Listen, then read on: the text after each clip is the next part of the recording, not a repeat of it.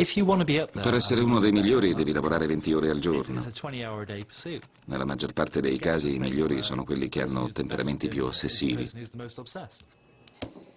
Arrivano a fare cose incredibili. Era la voce di un hacker criminale noto con lo pseudonimo di Phobos, che si rifiuta di comparire davanti alla telecamera. A certi livelli violare il computer più inaccessibile che esista senza essere rintracciati e arrestati diventa quasi una necessità. Non ha senso accedere alla biblioteca locale, sarebbe stupido, si rischia l'arresto, tanto vale violare i sistemi informatici di una banca.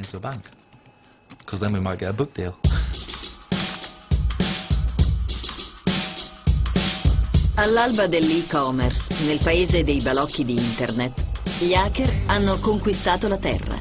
Hanno un potere enorme. Si muovono misteriosamente attraverso reti essenziali nella vita di tutti i giorni. Sono sfuggenti e sospettosi. In pochi, fino ad oggi, hanno acconsentito a parlare. È il più bel gioco del mondo. Meglio del sesso. Internet è gestito da persone ignoranti, poco informate e arroganti. Gli hacker sono una vera forza della natura. È difficile scoprirli e impossibile fermarli. Non è mai successo che così tante persone disponessero di un potere del genere. Sono visionari sottovalutati o capri espiatori dei politici? In questo documentario gli hacker ci rivelano finalmente le loro motivazioni e i segreti del loro mondo.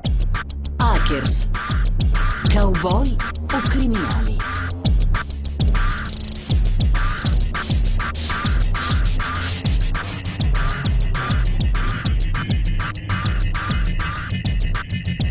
Primi veri pionieri del mondo del computer sono stati proprio questi inetti all'avanguardia. La loro visione di internet, un po' utopistica, è quella di uno spazio libero per lo scambio di idee. Certo non si aspettavano che il cyberspazio diventasse un supermarket virtuale. Alcuni hacker sfidano il sistema, amano definirsi cappelli neri. Sono i cowboy del XXI secolo che infrangono le leggi per muoversi liberamente nel cyberspazio.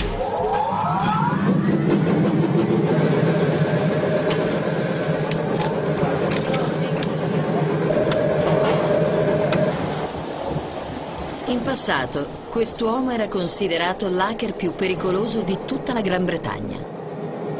Non vuole rivelare il proprio indirizzo, così lo incontriamo in una lavanderia della zona.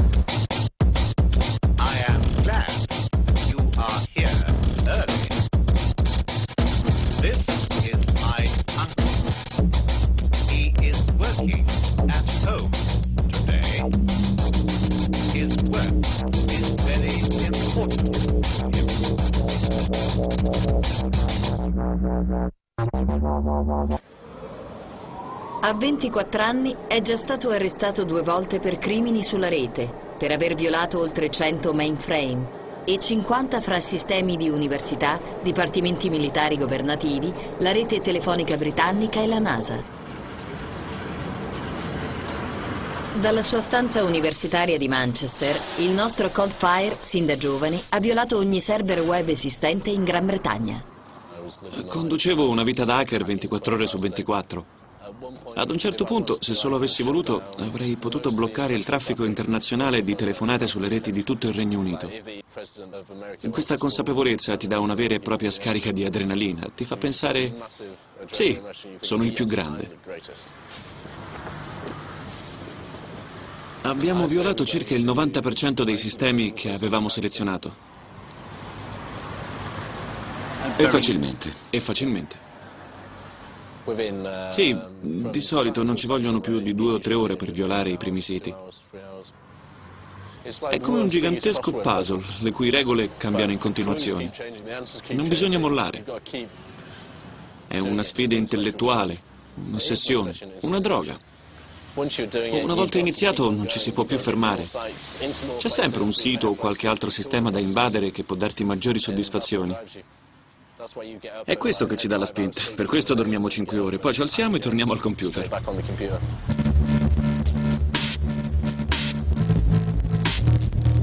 Phobos attivo ormai da quasi vent'anni, è sempre alla ricerca di nuove tecniche per violare reti governative e commerciali.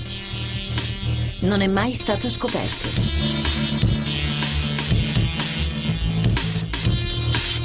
Quella che vedete non è la sua testa.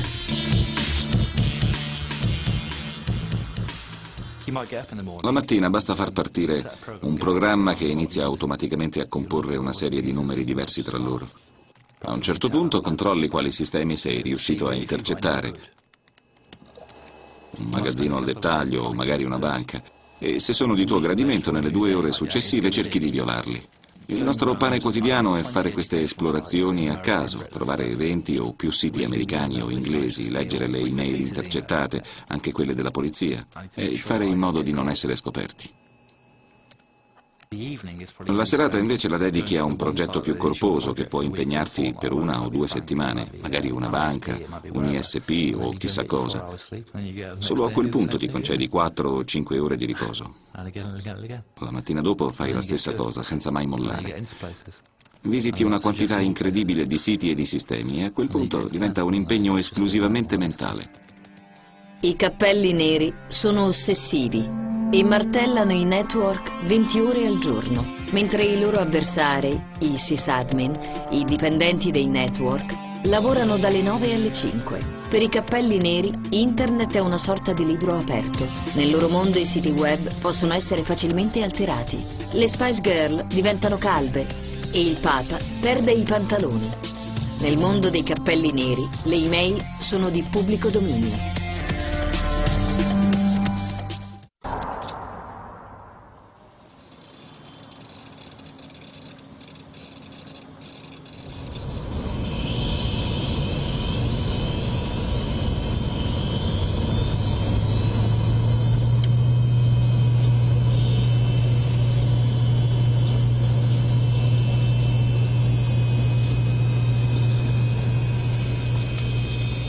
Cyber Junkie, un famoso hacker, è stato arrestato e poi rilasciato.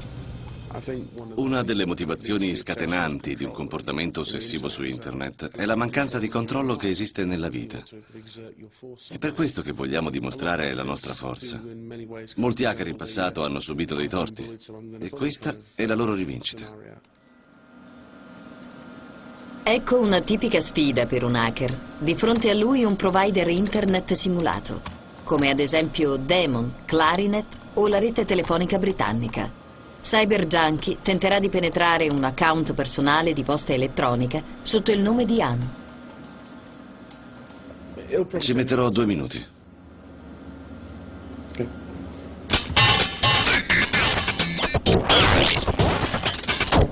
Ora ho un accesso completo alla macchina. Sto utilizzando la root del suo nome utente, una sorta di superutente che mi permette di accedere all'intero sistema.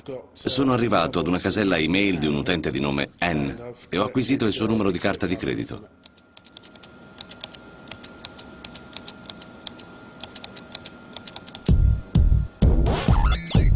Internet è vulnerabile e non è stato concepito come un sistema per transazioni confidenziali.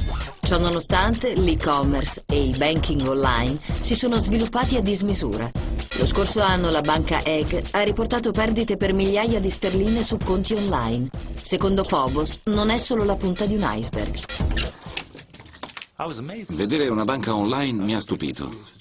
Per vent'anni non avevo fatto altro che violare sistemi informatici e quando un mio amico si è collegato alla rete e mi ha detto ecco, ora sono sul mio conto, gli ho chiesto se poteva trasferire somme di denaro senza doverlo confermare per iscritto. Quando mi ha risposto